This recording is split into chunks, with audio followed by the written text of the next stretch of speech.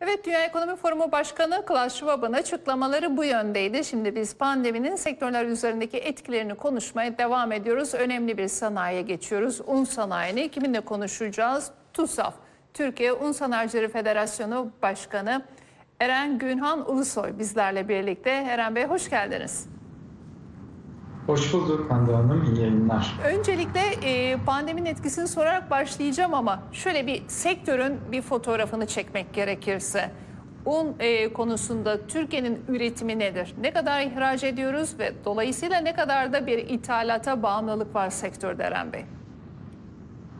Evet, Türkiye un sektöründe dünyanın en ileri ülkelerinden biri ve ihracatta da dünyanın birincisi. Türkiye ihracat için 3.3 milyon tonluk bir un üretimi gerçekleştiriyor ki e, bunu üretebilmek için yaklaşık 5 milyon tonluk bir buğday işleme kapasitesine sahip. Bununla beraber kendi iç piyasası içinde 12 milyon tonluk bir e, üretim kapasitesini kullanıyor. Toplamda 17 milyon tonluk bir üretim potansiyeli mevcut. E, kapasite kullanım oranı %50'nin biraz üzerinde gerçekleşiyor ve Türkiye'deki e, gıda sektöründe, e, gıda imalat sanayinde un sektörü %7'lik bir pay alıyor bu verilerle beraber. Peki e, Sayın Ulusoy şunu da sorayım. E, pandemiyle beraber çeşitli kısıtlamalar alınıyor. İlk pandemide kapanmalarda özellikle e, kimi noktalarda vatandaşlarımızın marketlere e, hücum ettiğini gördük. Bu noktada işte makarna olsun, bakliyatlar olsun. Dolayısıyla unu sormak istiyorum. Tedarik kısmında bir sorun yaşanır mı?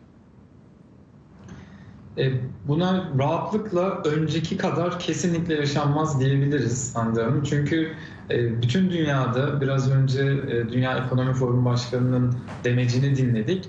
Bütün dünya artık Covid'den önceki gibi olmayacağını biliyor ve buna göre önlemlerini alıyor. Sadece Türkiye'de değil tüm dünyada bizim sektörümüzde olası ikinci dalgaya veya bu sorun aşıldıktan sonra tekrar ortaya çıkabilecek e, olumsuzluklara, salgın hastalıklara karşı önlemlerini almış durumda.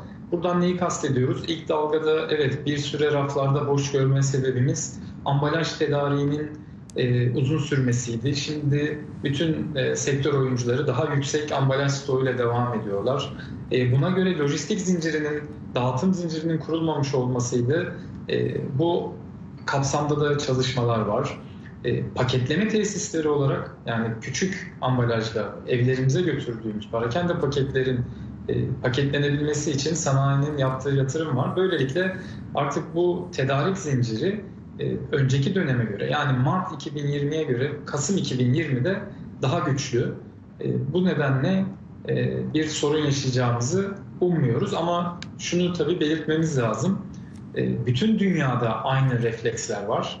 Bütün dünya buna göre önlem alıyor. Bu da stokların e, yükseltilmesi, ülkelerin ülke olarak stok yükseltmesi, sektörlerin stok yükseltmesiyle e, ne sebebiyet verdi?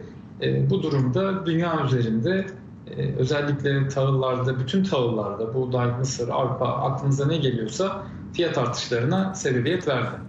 Peki Sayın Ulusoy rekolte nasıldı bu yıl? Çünkü en önemli maliyet kalemlerinizden biri kuşkusuz rekolteye bağlı gelişiyor e, fiyatlar. Diğer yanda hangi maliyet kalemlerinde olduysa artış oldu ve rekolte nasıldı? Evet, rekolte de geçtiğimiz yılın biraz üzerinde ama e, TÜİK'in verilerinde 20 milyon tonluk sektör öngörülerine göre bundan biraz daha düşük bir rekolte vardı. Ama her halükarda tüketimi karşılayabileceği düşünülüyordu. Dünyanın üretimine baktığımızda da dünyada da çeşitli kaynaklar USDA'ya göre 20 milyon ton fazlalık, IGC'ye göre 10 milyon ton fazlalık yani 770 milyona 750 milyon gibi bir üretim tüketim dengesi var. Yani fiyatların e, üretimle tüketimin dengeli olduğu bir sezonu geçiriyoruz. Normalde bize ezberlerimiz şunu söyler. Üretimle tüketim dengeli ise fiyatlarda büyük hareketler yaşanmaz. Ama bunun aksine talebin tüketimden çok daha güçlü olmasından dolayı fiyatlarda sezon başından itibaren hızlı bir hareket yaşadık. Dünyada bunu yaşadık, Türkiye'de yaşadık. E, talep çok daha erken piyasaya geldi. Çünkü tüm ülkeler e, özellikle buğdayı üretmeyen ülkeler kendi stoklarını güçlendirebilmek için bir an önce sezonun başladığı andan itibaren satın almalarını gerçekleştirdiler ve bu talep fiyatlara yansımış oldu. Peki ihracat kısmında, ihracatta da kimi sektörler olumsuz etkilenirken gıdanın kimi kollarında da artışlar olduğunu örneğin biraz önce Meyve Suyu Endüstrisi Derneği Başkanı Sayın Güney e, büyük büyüme oranlarını yakaladıklarını, yeni pazarlara girebildiklerini söyledi. Gerek AB pazarı, gerek Amerika, gerek uzak doğu olmak üzere. Un sanayinde ihracatta pandemi etkisini sektör pozitife çevirebildi mi? Uzun vadeli baktığımızda kesinlikle pozitife çevirebileceğini söyleyebiliriz Hande Hanım. Çünkü pazar yapısı olarak e, değişken ülkeler olmasına rağmen bu dönemde yani Türkiye dünyada un ihracatının birincisi 160 aşkın ülkeye ihracat yapmış e, bir sektör. Ama bu dönemde hiç çalışmadığımız yeni ülkelerdeki müşterilerle çalıştık. Avrupa pazarına ihracat gerçekleşti ki Türkiye için Avrupa pazarı çok zorludur. Gümrük Birliği'nin dışında tutulur e, bu tarım fasıllarında Avrupa Birliği. Buna rağmen bu dönemdeki acil ihtiyaçlar Avrupa pazarlarında da ihracatçılarımızın yer almasına e, yer almasını sağladı. E, o yüzden uzun vadede mutlaka kazanımlar var ama kısa vadeli baktığımızda Nisan-Mayıs aylarında özellikle lojistik etkenlerden dolayı ihracatın bir önceki yılın aynı aylarına göre daha düşük gerçekleştiğini gördük.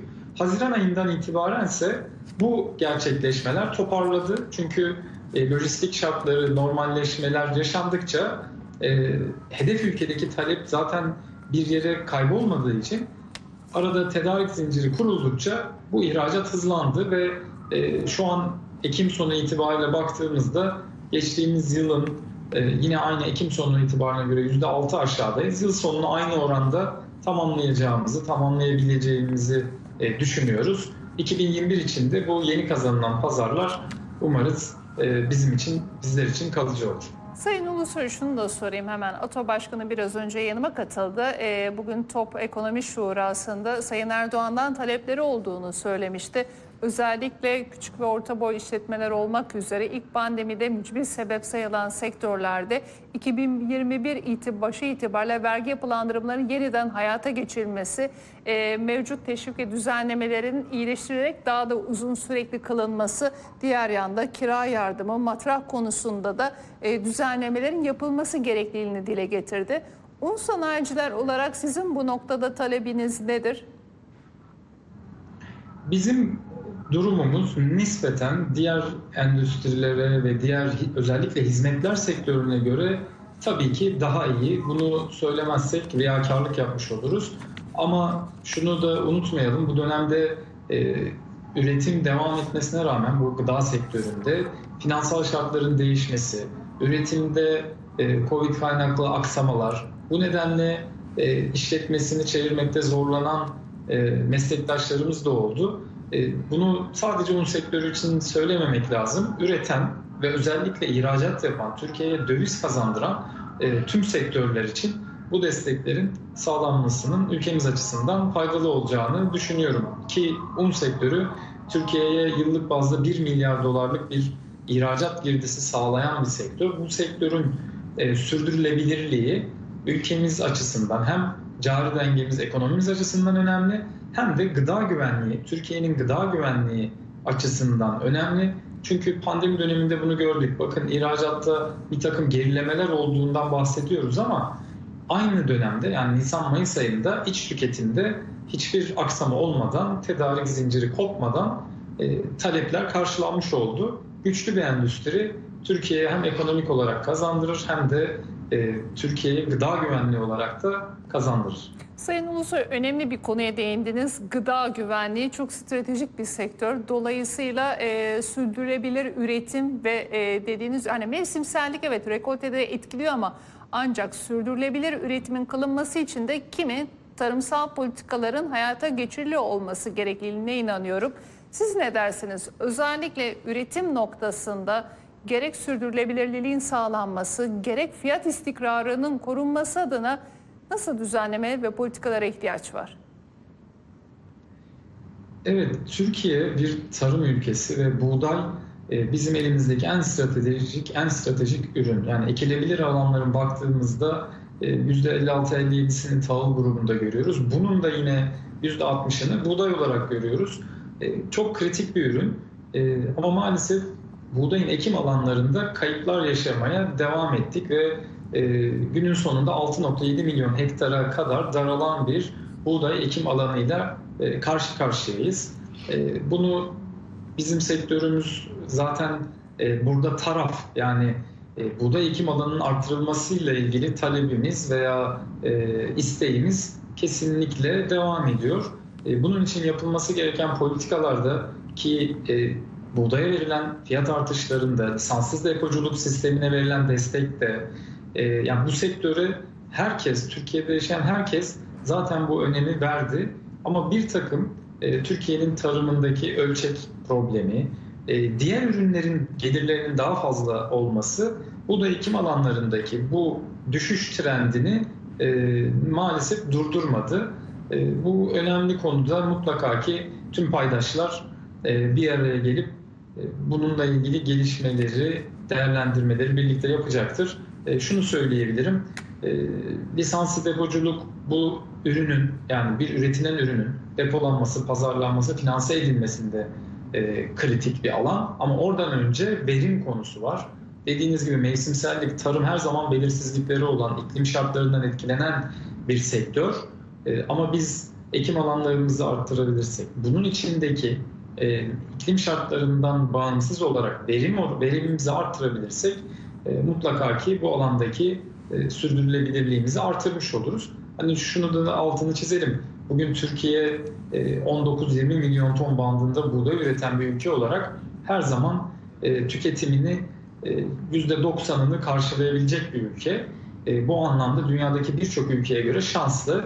Ama bahsettik un gibi makarna, bisküvi, bulgur çok güçlü bir buğdaya dayalı e, gıda sanayisi var. E, bu gıda sanayinin daha güçlü olması için yerli ham maddenin olması, ithalatın yerli üretimle e, Türk çiftçisinin ürettiği ürünle ikame edilmesi e, mutlaka ki ülkemiz için daha iyi olacaktır. Çok teşekkür ediyorum. Değerli notlarınızdan dolayı TUSAF, Türkiye Un Sanayicileri Federasyonu Başkanı Eren Günhan Ulusoy'u da uğurlayarak bir günden kalanları bugünlük burada noktalıyoruz. Kısa bir araya gideceğiz. Bizden ayrılmayın. Aranın ardından 60 dakikada Barış Esen sizlerle birlikte olacak. Hoşçakalın.